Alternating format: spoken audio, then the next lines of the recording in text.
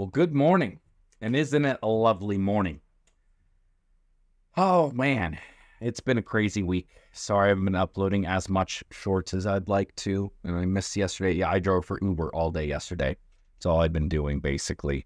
Um, you know, things have been slow, so I've been having to make things up, you know, money wise to pay the bills.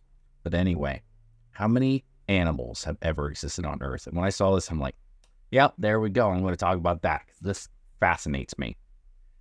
Figure out this mind boggling high number. We need to know how many species have ever lived, dig deep into the fossil record, and do a lot of math. I'm not good at math, but this is, should be fun. It's a pretty cool picture. Why is it? It's mostly African animals Okay, well, there's a couple. Okay, there's stuff from all over the world. It just seems to be like they love African animals. So there's a lot of them in there. But anyway, um, there are more than 8 billion humans on the planet. And although that's a remarkable number, it's just a fraction of the number of people who have ever lived, and an even smaller slice of the total number of animals that have ever existed. But how would scientists even go about estimating the total number of animals on Earth, let alone determining how many have ever existed on our planet throughout its history, and why bother? Uh, in an email to Live Scientist, uh, Science, David Jablonski, a geophysical engineer at the University of Chicago, described the calculation as a difficult question, but said he, it's probably easier to begin by estimating the total number of animal species. According to IUCN Red List, about 2.16 million animal species have been formally described as of 2022. However, up to 20% of those are probably duplicates, documented by multiple scientists, according to a 2013 paper in the Journal of Science. Assuming the estimate is accurate, that puts the true number of known animal species at 1.7 million. Duplicates, like you know, in a different phase of life or something like that, and they just been called something else. Like I know eels were thought to be different species, but then there was like the baby part of the eel, and then the adult. And uh, maybe it has something to do with that. Of course, this number isn't static. Researchers are continuing to describe about 14,000 to 18,000 new animal species each year, which means scientists have only scratched the surface of the number of animals on the planet. In 2011, Camilo Mora, a biogeographer at the University of Hawaii, and his colleagues wrote a paper on in PLOS biology, estimating the total number of eukaryote species on Earth. Their final count was around 8.7 million, uh, about 7.7 million of which were animals. Of those, roughly half were insects, which is mind blowing, Mora told Live Science. This paper has become quite influential and is still widely cited today. To figure out how many species who have ever lived, we need to look deeper into the past using the fossil record, which represents a whole new set of challenges. I mean, yeah, there's no way for us to know 100% for sure. I mean, there's just none because we find new extinct species every single day, new fossils. And imagine those are only the ones that fossilized. There, there are so many more that we have no like way of knowing about because they didn't fossilize. And there's plenty of species who will, we will never rediscover, ever.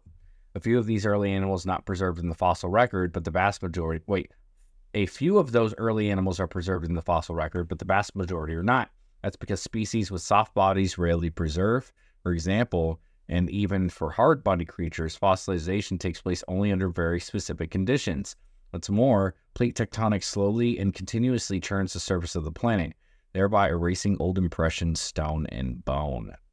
I didn't even think about that. The standard estimate is that 99.9% of species that have ever lived are extinct, Jablonski said. But of course, that's a crude approximation. Assuming that this approximation is correct, we would simply need to multiply 7.7 million by nearly 100%, uh, Morris said. That puts the total number of animal species at roughly 770 million species. Jesus Christ. But how could we calculate the number of animals, uh, individual animals that have ever lived on Earth?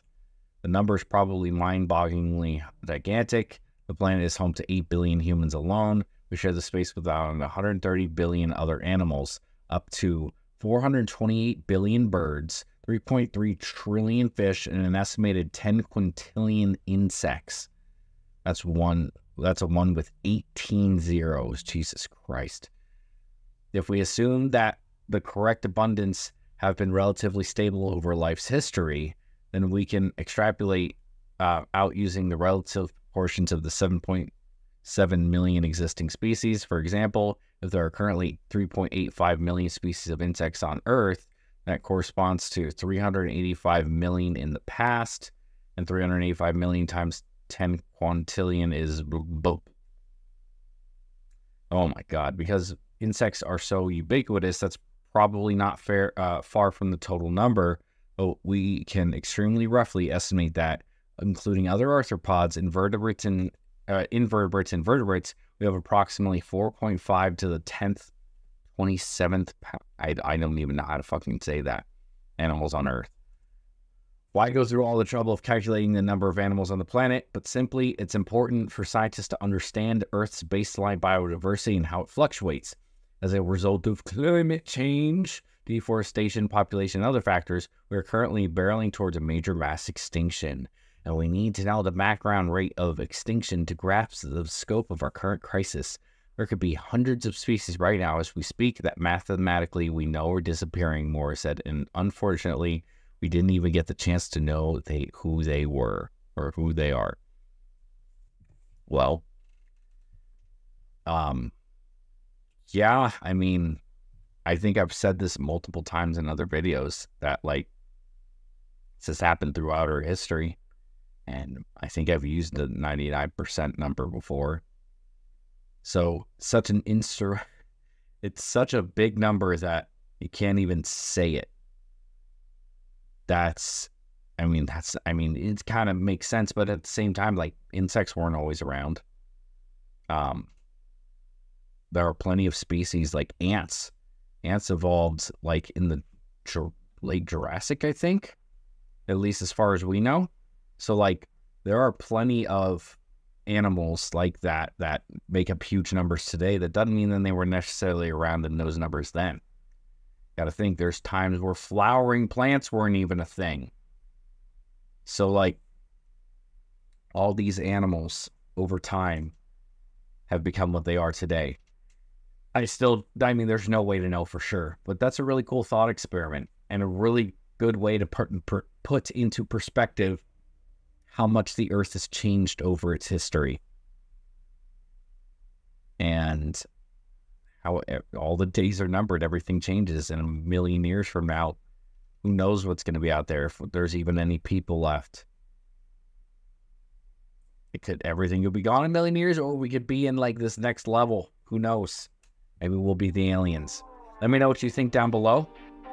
Let me know if you like this video, and I'll see you on the next one. Keep it wild.